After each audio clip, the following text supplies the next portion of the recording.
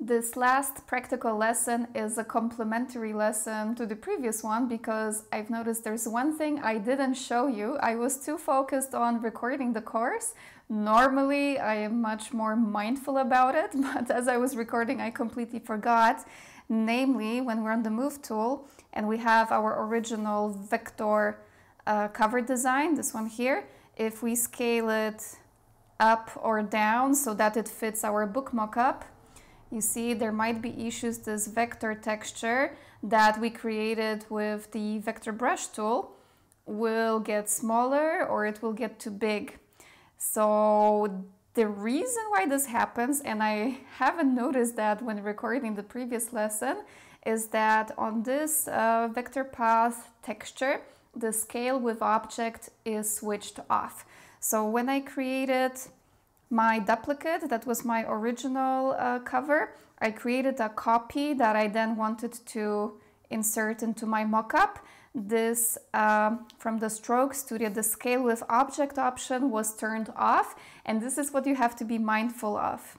So on one hand, it's a pretty easy fix, but if you are using a lot of uh, textures with the vector brushes in this way, it can be a bit of a pain.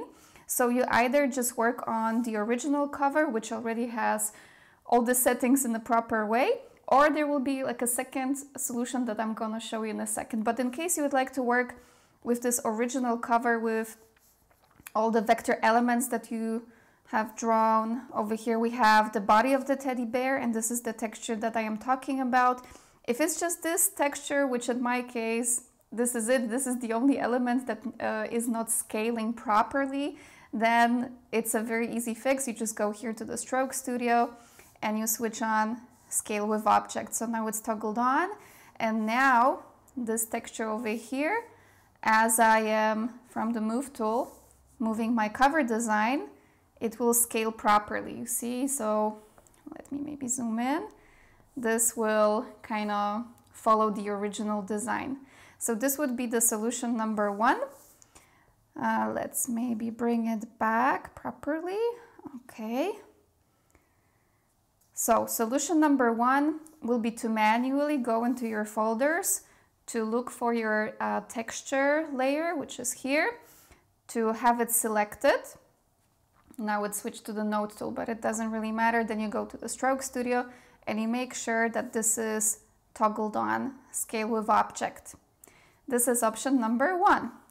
Now, option number two is to export your final cover when you think, okay, I'm done, this is my final cover. Then you can already export it as a JPEG, for example, into the uh, storage of your, in my case, to the storage of my iPad. And then you can place this JPEG image into your book mockup. So when you clip to canvas, what you see when you clip out everything else this will be exported. So be mindful if there's any mistake, for example, your book cover is a little bit cut, this will also be exported. When the canvas is clipped, what you see when you want to export it, this will be exported, so be mindful of any possible mistakes. I'm gonna correct that. And then all you gotta do, okay, now that you're happy with your cover design, you go to the three vertical lines or the hamburger menu and then you select export. Uh, you can stick with the original canvas size, which in my case is again 4000 pixels square. And then you hit share. And you can either save it to files or I just save the image and that means that it will be saved into the photos album, so into my camera roll of the iPad, which is okay. Later on I tidy them up or uh, they get stuck in my albums, but I can reuse them for my social media, for example, uh, to share with my followers. And then I hit cancel. And now it's super, super easy. Can switch it off. We can go to our mockup exercise folder, to our cover. And now we will be placing the JPEG image that we just exported. By the way, it was a JPEG. Let me just remind you that over here you can choose the file type. Can be a PNG or a JPEG. I usually stick with the JPEG. Okay, let's cancel. And now we can go again to the hamburger menu or the three vertical lines menu and hit place. And then place from photos and we will have to find the cover design that we just saved uh, from our device. So place from photos and there it is. So I select it and I hit add and then I just tap onto the screen with the Apple Pencil or just with my finger and the image is placed. Of course, I have to then go to the layers panel and I have to drag it into my cover shape. And then from the move tool, I can adjust it to my liking. And because it's a static JPEG, it doesn't include any vector elements.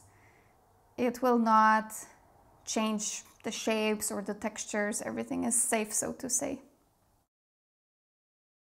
So these are the two ways in which you can troubleshoot in case you're having issues with scaling your uh, texture after creating your uh, illustration. Number one, you can just make sure that your original texture has the scale with object option uh, toggled on. And then number two, you can just commit to your final design. You can save it to your internal storage or to the files folder. And then you can place it and from the layers panel, then you can manually position it within your mockup. So this is it. I'm not anticipating any further issues, but if there's anything else, do not hesitate to reach out and I'll be happy to help.